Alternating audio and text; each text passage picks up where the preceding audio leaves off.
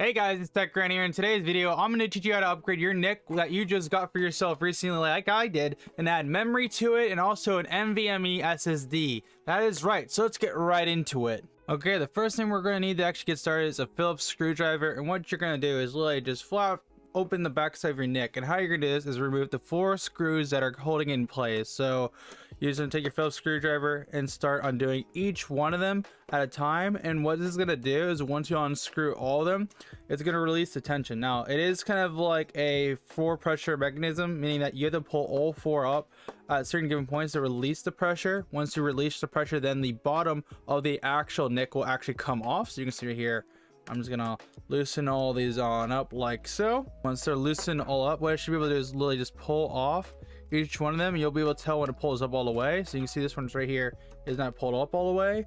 So I can't do anything about it. So what I'm gonna do is do that again. I'm gonna pull it up all the way.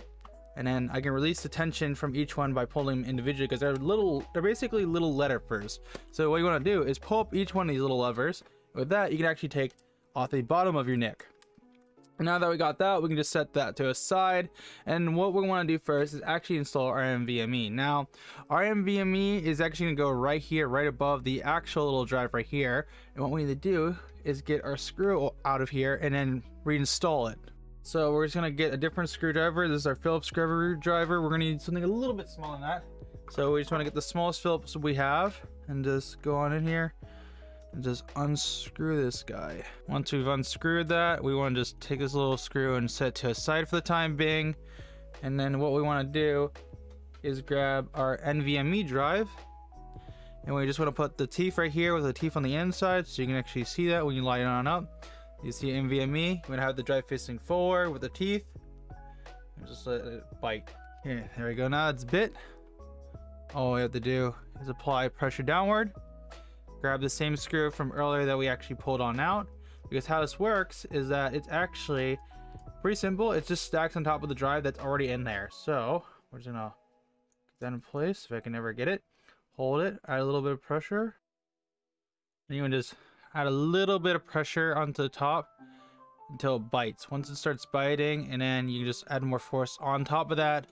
And then we're just gonna screw that down until we know secure. We're just gonna add a little bit more pressure. Once it's in place, it's in place. So NVMe is installed, so we're good to go there. Now what we need to do is install the memory we got. Now there's two different DIMM slots. We're only gonna be using one of these because we only got a one 8 gig stick. So we're just gonna grab our 8 gig stick and just pull it on out and then we can start installing it. So what we're gonna do the install RAM is just take a RAM, place it onto the top RAM slot just at a slight tilted angle. And once we have it like this, you want to just, just apply it downward. And once you have it downward like this, it's going to lock it in place. And then your RAM is installed. Nothing else really fancy to it.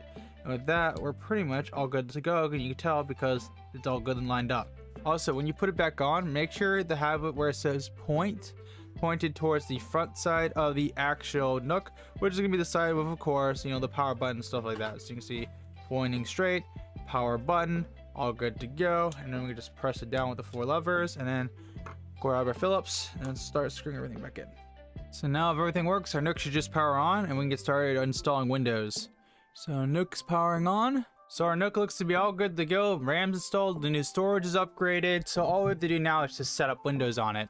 Now that the NVMe drive is installed and the RAM's installed, all I have to do is install Windows and get this all set to go, which I'm not going to do with you guys here today. I just want to show you guys how to install an NVMe and also how to install RAM if you do plan to do any of this or even upgrade. So now you know how to do it. If you guys did find this video helpful, even though it was short, then make sure to smash the like button.